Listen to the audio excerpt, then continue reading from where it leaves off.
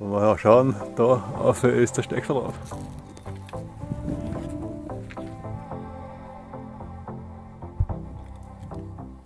Sagen wir mal nicht so. Und hängen sie halt entsprechend ein. Ja, wunderschöne Abendstimmung hat man am Ende der Matterweinstiege. Hallo und Grüße von den Beilsteinwänden. Ich bin Vater dabei und heute geht es einmal auf einen weiteren Klettersteig, nämlich die Koloarstiege. Und da nehme ich euch einfach mit, weil es ist nämlich schon ziemlich am Abend und sonst wird es mir möglicherweise zu spät. Wer das Tafeltor erreicht hat, steht also vor Koloarstiege noch schwarz als Wanderweg interessanterweise angeschrieben, aber mit der Bemerkung Begehung mit Klettersteigausrüstung. Na, wird ja spannend.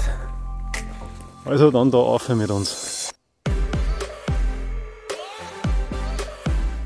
Ja, da ist der Einstieg zur Kolarstiege, der echte Einstieg. Und wenn wir ja schauen, da auf ist der Steckverlauf. Also es geht da durch diese Scharte durch und bei den Bäumen vorbei. Uh. Geht ganz einfach los. Ah, jetzt möglicherweise noch gar keine Versicherung gebraucht. He? Ja, bei mir ist ein Kletterkurs aufgestiegen. Die waren Felsgittern, haben demzufolge gar keine Klettersteigausrüstung und sind das Ganze wirklich nur am Seil versichert gegangen. So geht es natürlich auch da.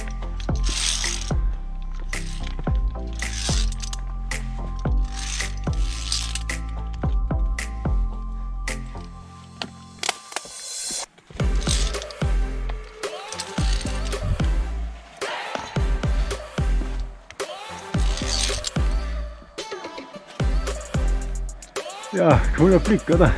Da hinten diese Felsennadel, der Ausblick, der abendliche. Ist von Wien aus leicht erreichbar, sind ca. 30 Kilometer. Bin jetzt heute Abend sogar nach der Arbeit noch mit dem Radl hergefahren. Das wird vermutlich für die meisten nichts sein. Aber es ist ja wirklich cool da.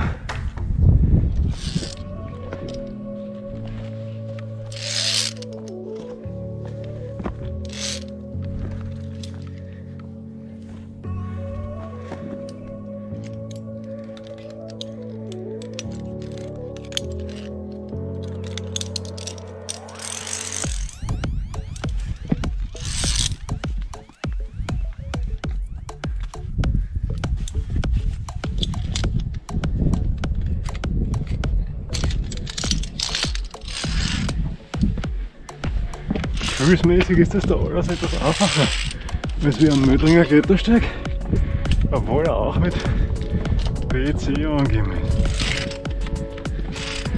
Geht's da schön in dieses Eck eine abwechslungsreich. Ist schon cool, oder? Überall die Föhren drinnen stehen. Da gibt es viele Risse.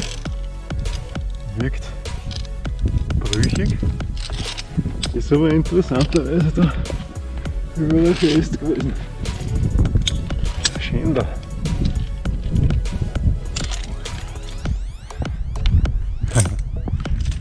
Ja, jetzt gehst du auf diesen Grat hinauf. Ausblick. Muss natürlich nicht schöner sein, ne?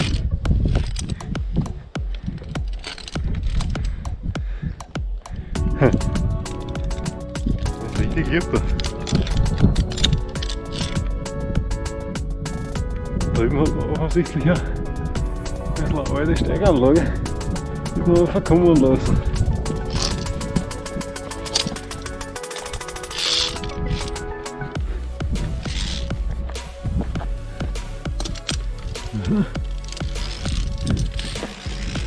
Tja, das war's auch schon wieder. Na, ist ein gutes Vergnügen.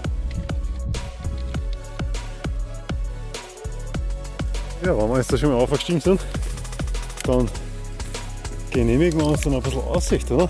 Aussicht und Rückschau ist in dem Fall angesagt.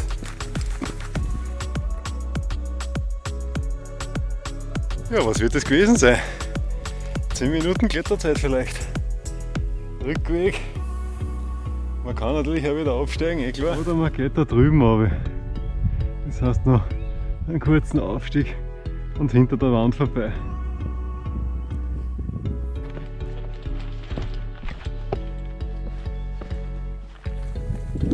Der kleine Rückschau in den Graben. Für uns geht es da mit Hilfe Markierung jetzt linker Hand hinauf. Ja, was kann ich sagen? Ein sehr kurzes Vergnügen ist es eigentlich. Da war ich anscheinend schon fast zu schnell. Jedenfalls für 30 Kilometer mein Rad herfahren. Jetzt genehmigen uns mal aber auch noch eine kleine Aussicht vom Beilsteingipfel, würde ich sagen. Also wenn man den gelben Markierungen konsequent folgt, dann kommt man da auf ein schönes sonniges Platz und da drüben ist das Gipfelkreuz vom Beilstein.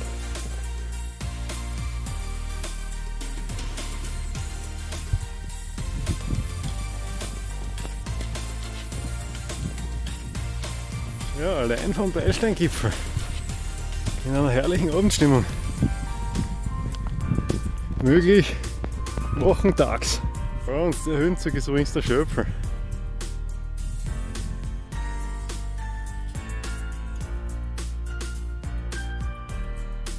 Wer da mag, kann jetzt noch in drei Minuten zum Beilsteinhaus gehen, dort findet er einen Stützpunkt. Also da, Beilsteinhaus. Mit Zeltlager, Kinderparadies. Einkehr, Nächtigung, Duschen, alles was ihr wollt. Oder ihr macht das so wie und fahrt wieder heim. Ja, ich habe mich beim Beilsteinhaus Richtung Norden und dann aber gleich wieder links gehalten und komme da jetzt in engen Serpentinen runter, wieder in Richtung Wandfußsteig und dann geben wir uns das zweite Klettersteigerlebnis, wenn es wenn ich wegen 10 Minuten nochmal zum Krackeln dahergefahren war. Zwei Stunden lang. Ja, da beim Stein halte ich mich jetzt recht.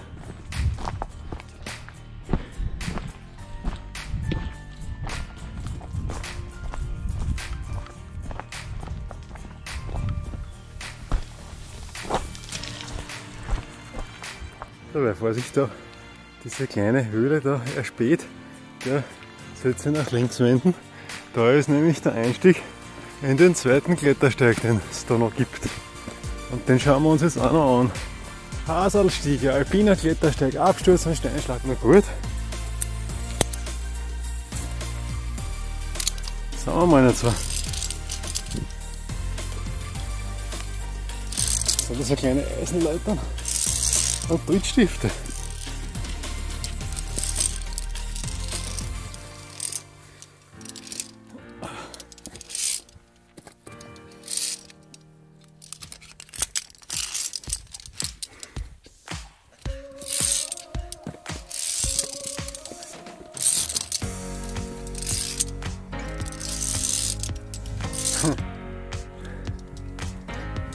Landschaftlich auch ein hübscher Steig. Durch diesen Ries da durch.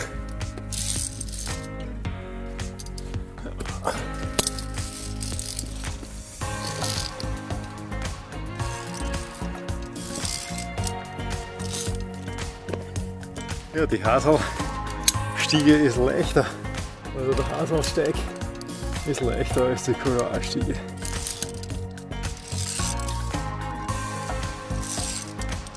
Und schon ist der Ausstieg erreicht. Haselstiege.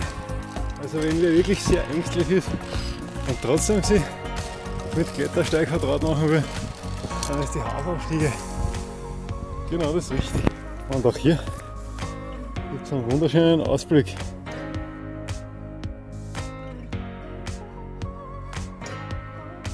Zur Matterhornstiege zeigt man nach dem Schritt bei erster Gelegenheit nach links hinauf ab. Ah, gut ausgebaut. So da. Matterhornstiege. Ja, mal derselbe Hinweis.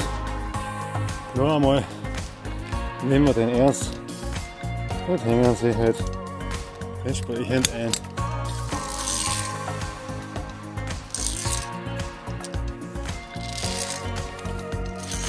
Ist auch nicht schweres Gelände. Das schaut mir ein bisschen ausgesetzter aus.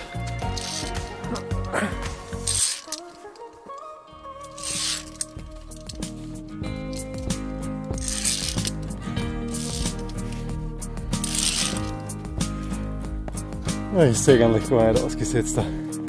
Genauso ein wunderschöner Ausblick wie auf den anderen Passagen.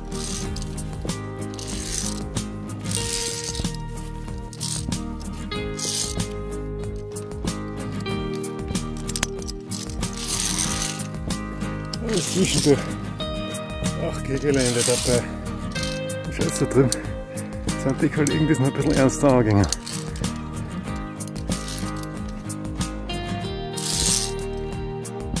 So, das Gelände wird steiler.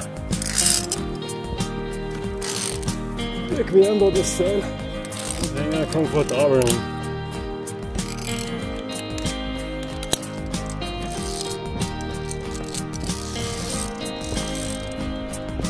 Definitiv der Steig mit der schönsten Aussicht.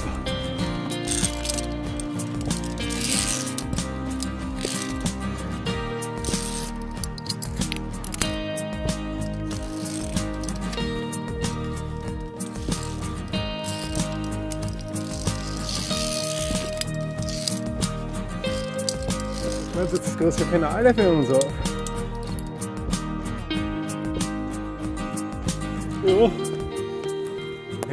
Fallen lassen. Allein wegen des Ausblicks und Tiefblicks lohnt sich das da schon. Ja, und die Hauptschwierigkeit hat man da auch schon wieder. Ja, Matterhornstiege absolviert. Ja, wunderschöne Abendstimmung hat man am Ende der Matterhornstiege. Also der Aus Stieg hinsetzt. Da kann man wirklich einmal herrliche Rundschau. Drüben hat man noch so ein bisschen einen Felsgipfel zum Angeben.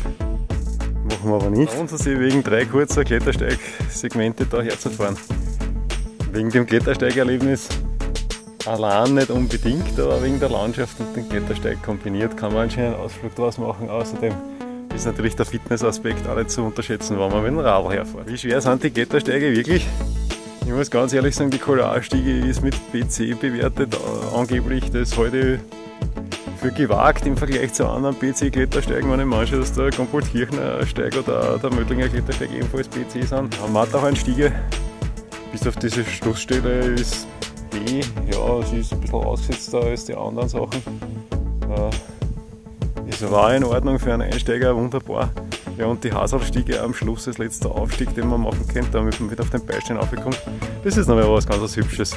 Das kann man ganz guten Gewissens mit Kindern machen, die einmal ein erstes Klettersteigerlebnis haben wollen. Und die Abendstimmung, die wird immer schöner. Das war es jetzt von den Beilsteinwänden und den drei Klettersteigen, die es da drinnen gibt.